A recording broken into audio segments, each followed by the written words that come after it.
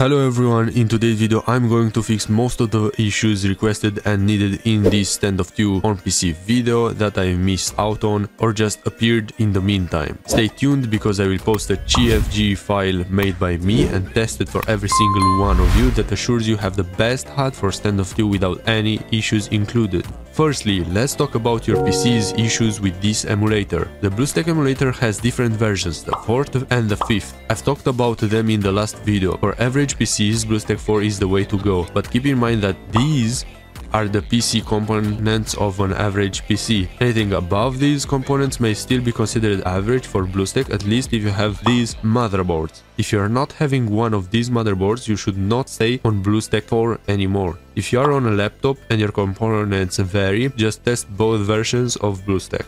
BlueStack relies on CPU performance and motherboard selection, so if your motherboard is above what I've shown in the list, use BlueStack 5, and the 4th version just doesn't work well with those motherboards. If your CPU is not the best, or maybe it's very good but you've got an RTX card, then I've got bad news. Your RTX, being such a good graphics card, won't really go above 20-ish percentile, which means your processor will remain at 60 to 70% and your GPU will barely work. That's just how the these emulators work. They are not detected by our PCs as a literal game. How do we solve this? Managing and optimizing for example our mouse delay, the processor's performance, the GPU's performance, the power plans we can choose for best output performance in BlueStack and ultimately in standoff 2. Some Windows optimizations that I've not shown or specified their need and importance in the last video, watch out this video if you don't have all the Windows and NVIDIA optimizations. Let's begin with the mouse optimizations. Install your manufacturer's drivers. If you have a Razer mouse, install Razer Synapse, for example,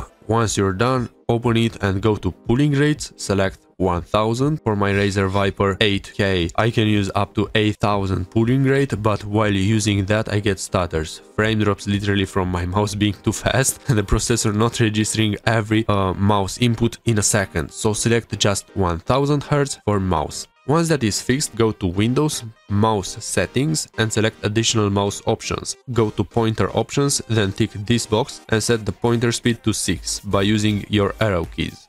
After that, close it and go to BlueStack, Settings, Display, and select custom DPI under pixel density and type 999. That's the max that BlueStack can handle. That's what we choose. I recommend also using over 800 DPI in your mouse manufacturer's settings. I use 1600, but that's so your mouse inputs all the clicks and movements accordingly. Remember, you can always change it later once you close Standoff View and play your other games or watch YouTube. Secondly, let's do specific GPU optimizations. Go to Windows, Gaming, Graphic Settings, and tick this box if you haven't yet in order to reduce delay on the GPU and output more performance. Then browse like me here in program files BlueStack NXT for BlueStack 5 or whatever says BlueStack on the fourth version and select HD player then select again HD GL check. Both should be set on high performance once selected. Then install with my Mediafire link MSI Utility V3, you will have it in the description. Open it in administrator and disable and re-enable the GPU box right here. Then select high profile and apply in the right corner. Then leave the app. Thirdly, let's do the last processor based optimizations. Type msconfig in the Windows search bar, go to boot advanced options, tick this box and select the max number of processor. For me it's 16. Then press OK, apply OK again and exit without restart for now. Go to BlueStack settings, then in the performance tab select the max amount of your RAM you can for your RAM availability. For example, I have 32 gigabytes of RAM, I select the max which is 12 gigabytes. If you have 16 choose 8 or even 12 because BlueStack is not going to use 12 gigabytes it's just going to have them available. It is usually going to use between 3 and 4, I've tested it. If you have 8 gigabytes of RAM, choose 6 by enabling the custom option and type 6100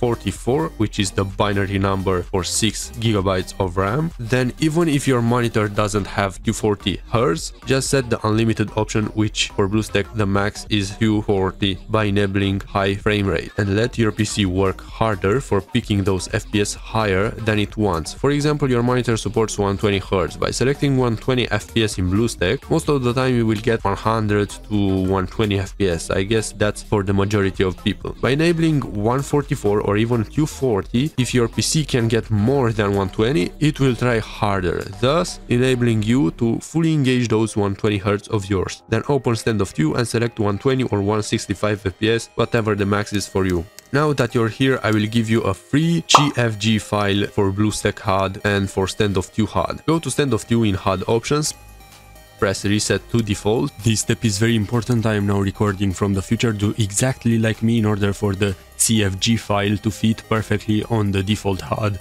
If you don't do the same, it will interfere with the binds. See, I said CFG. I'm definitely from the future.